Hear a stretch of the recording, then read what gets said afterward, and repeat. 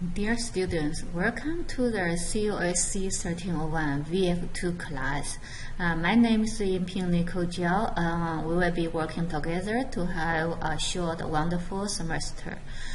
Uh, the semester is from October 24th to uh, December 18th. So it's uh, eight weeks uh, mini semester and we have to do a lot of assignments here.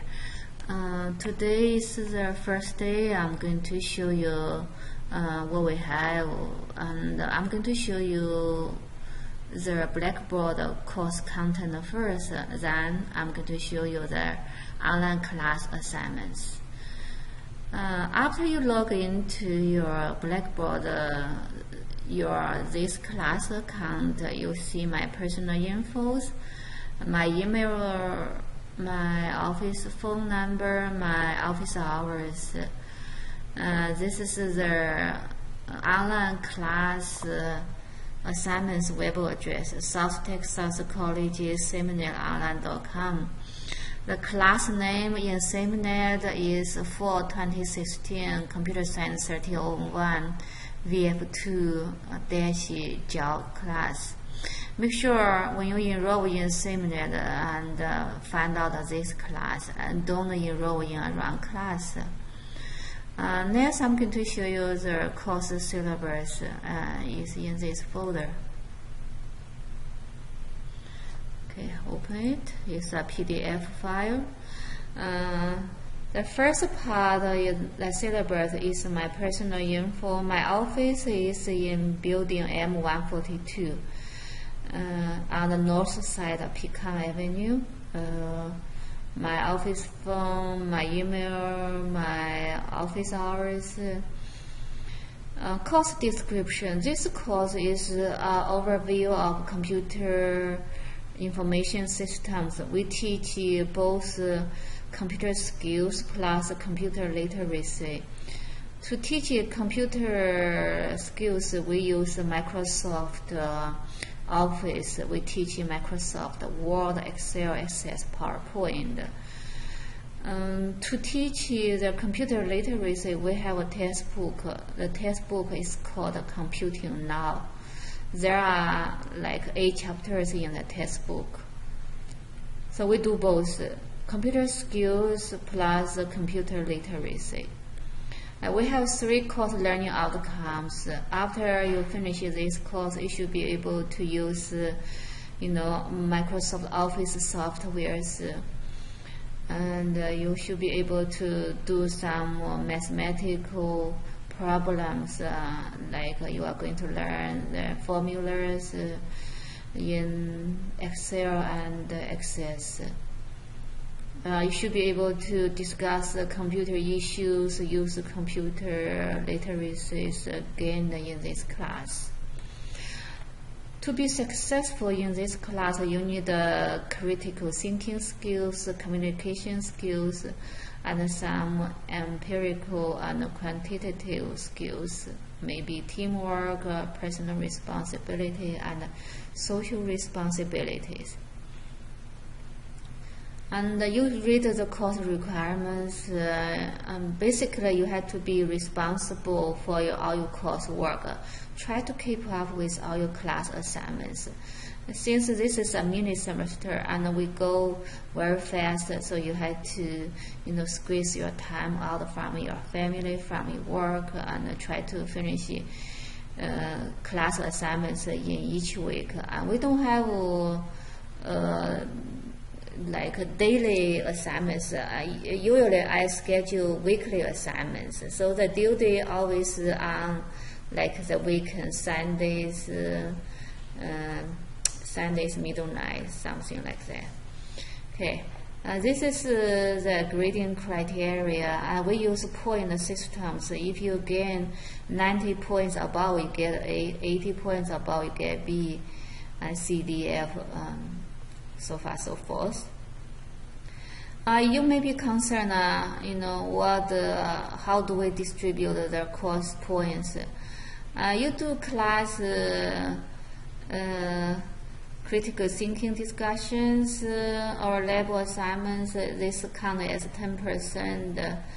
and 20% will be your SIMNet lessons and projects. Uh, there are four chapter exams. I put two chapters together for one exam. So this is exam one, two, three, four. Uh, you have a skill exam for each software. After you take the lessons, at the end you are going to take a skill exam. Textbook info. Uh, this is the picture for the textbook. It's called uh, Computing Now, and it's about computer literacy. There are eight chapters in this. Besides the textbook, uh, you have to purchase the access code for using SIMNet Office 2013. So I'm going to show you, you know, what's SIMNet. So SIMNet is an online website. This is the address, and it's called South Texas College.simnetonline.com. And this is a login screen. You have to create your username, password in order to use it. Um, you must have access code. You pay to get your access code. In another video, I'm going to show you how to register to become SIMNet users. Okay. The SIMNet assignments. After you have your username and password, you're going to see your class assignments after you sign into SIMNet. Uh, I have signed into the class and you can see this is uh, your class assignments. I have organized all the class assignments into uh, folders. For example, the Word folder, uh, if you double click, open it, you see the assignments inside. Uh, you also see the due dates for each assignment. So for you, you have to watch out the due dates. Try to finish it up before the due dates. Uh, sometimes I give grace period. Uh, even after due date, you may have two or three days grace period but you have to watch out all the time. And uh, this uh, SIMNet sometimes will remind you, know, how many overdue assignments you have. So you just need to be aware of uh, your overdue assignments. Uh, go back to the course syllabus uh, and uh, we continue with the end is the uh, course schedule and uh, we have about eight weeks in these weeks, uh, and we do uh, lessons in SIMNet. Uh, we have scheduled chapter exams for the computer literacy book. also, you have to answer some discussion questions in the Blackboard. you go to the left side of Blackboard, you see uh, link, uh, you open this discussion board, you see there are four discussion questions with the due date. Um, so the due date is also here. For example, the discussion question one, the due date is uh, November 6. Okay, so just uh, uh, be aware you have to answer these discussion questions. Uh, email. So you have to practice how to use uh, Blackboard emails uh, in order to communicate with your classmates or your instructors. Okay, let me show you a little bit about the emails. So the link is right here. You click uh, the email. Uh, you go to create a message and you have inbox send box so all the incoming mails are inside the inbox. All your send out the mails get into this folder. So whenever you want to compose a message, you click, uh, you, you, click here, and uh, you're going to see click uh, the two button, and uh, this is going to show you the class roster. Uh, you see your name should be here, uh, my name should be here. My name has instructor at the end. Uh, whenever you want to write an email to me, you click my name and click select button, and I will be choose as a uh, recipient and uh, you can put a title like uh, welcome. And let, let, me just try this. So on any message you want to write uh, you click here. Uh,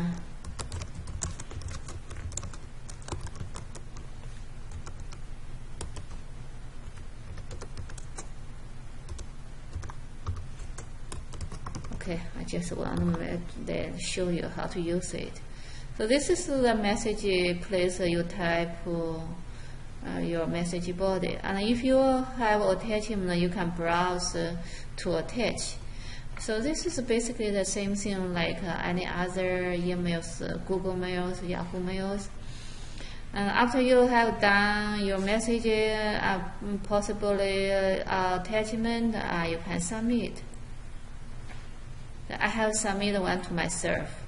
You see, I sent an email to myself. I sent a, a few others before also.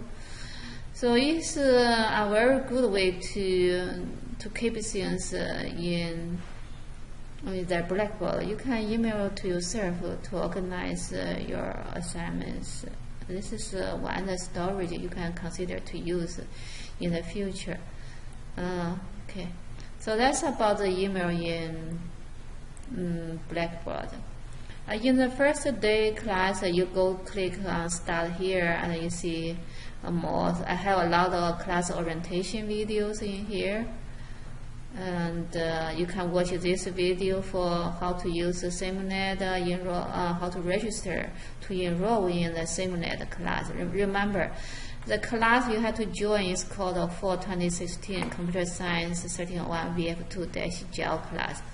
In this video, I have used another class as example, so make sure you understand that this is the class you have to join. And this video uh, shows how to take their assignments in SIMNet. It's quite easy. Watch this one. Uh, if you want to go to SIMNet, take a class assignment, you can just click here to go jump to this website. So sometimes you may confuse about the web address. So this give you a shortcut to go to the SIMNet to take your class assignments. Uh, this video also shows how to take SIMNet lessons and exams. Uh, one more is about how to complete a SIMNet project. You do have SIMNet project. Okay, here you see you have Word 2013 Capstone Level 1 project, uh, Word 2013 uh, Capstone Level 2 project. So you have project uh, that typing exercise. Uh, when you click this, you can download instructions, uh, download the start files. Uh, after you finish, you're going to upload. So you need to watch the videos uh, in this to see how to complete a project and upload to get a grade.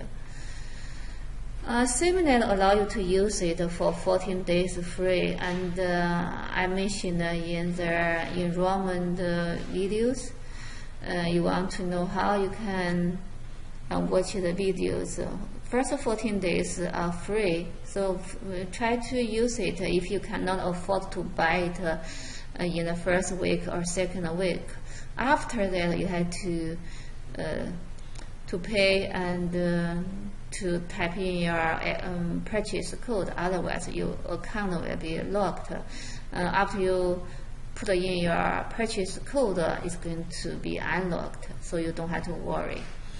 Uh, I have uh, this video to show you how to put in your real code after 14 days you finish your trial period. Okay. So let's go back to the course content to see what's available there. So I have organized our uh, class uh, contents into different units. Uh, see, you have a unit for Word, for Excel, Access PowerPoint, uh, a unit for textbook uh, computer literacy. I have one more um, unit uh, is for research paper and presentation.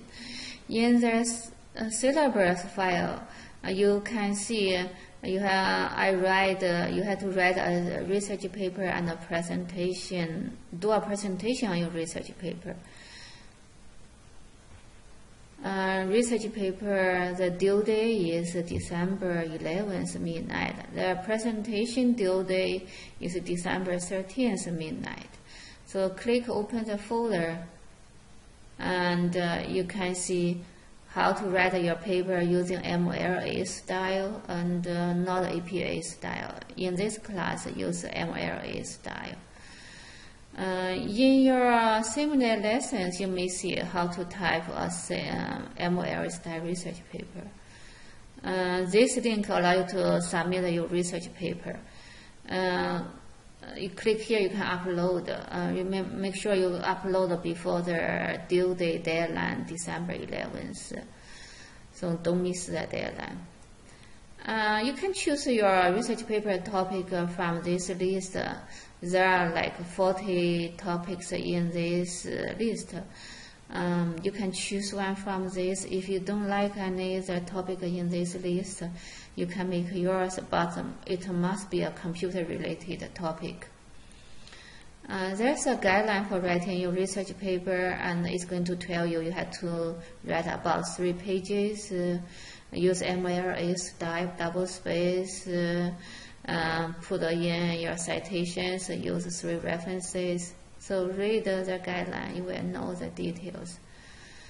And this is a web resource show you how to do citation. Research paper must have citations because you use references. Here I post a sample of research paper. Uh, this sample is kind of just a page long. For yours, you have to write about three pages long.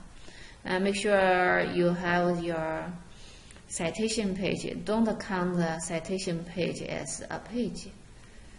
And uh, this is more info about MLA style research paper. So let me go back to the another folder.